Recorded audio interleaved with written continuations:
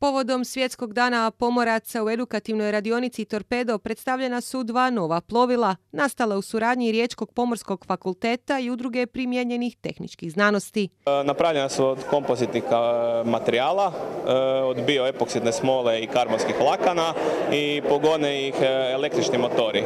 Znači s time da autonomiju dobivaju sa solarnim panelima. Nakon Torpeda plovila će biti predstavljena i na prestižnom natjecanju inovacija u Monaku. Plovilo e, ovo iza vas e, e, znači će zaploviti u Monaku pošto to je kokpit za postojeći katamaran na koji se onda montira taj kokpit i onda će studenti to imati prilike ploviti u njemu u Monaku od 3.7. do 10.7. Studenti koji su sudjelovali u projektu ponosni su na svoj rad.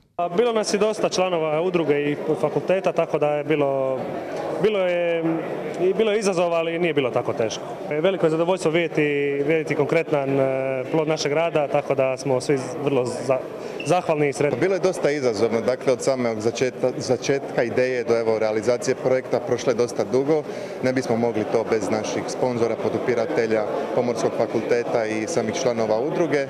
Tako da, eto, ispunjeni smo radošću. Hrvatska broji oko 17,5 tisuća pomoraca. Ono što moramo naznačiti od tih 17.500 hrvatskih pomoraca, negdje više od 70%, 72% isključivo čine časnički kadar, časnički i zapovjednički kadar. I to je ono na što se ponosimo i to one brojke nam govore koliko je i danas još uvijek e, pomorac cijenjen, hrvatski pomorac cijenjen na razini globalne pomorske industrije. Studenti Pomorskog fakulteta nakon završetka studija traženi su na tržištu rada.